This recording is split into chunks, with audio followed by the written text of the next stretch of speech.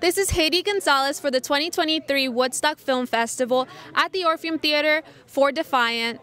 Uh, my name is Karim Amer, director and producer of the film Defiant. Um, excited to be here in Woodstock. Anyway, thank you. And thank you for the great movie and great time. Great time.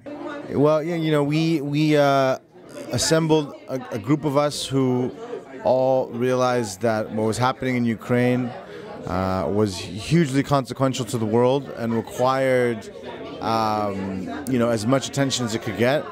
And we were granted some really extraordinary access to be in, you know, with leaders of the government who are the tip of the spear of the orchestration and management of the government affairs uh, during this historic time. And we felt that to document their, um, their, their journey as they were basically inventing the modern day playbook for warfare um, by looking at their in interactions on the diplomatic front, on their fight against misinformation, and as well as the way in which they deploy technology in an innovative way to punch above their weight and allow for them to be the David that could hopefully overcome the Goliath of what is Russia today.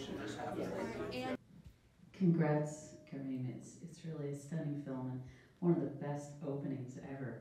For more information on the festival and more events, go to woodstockfilmfestival.org.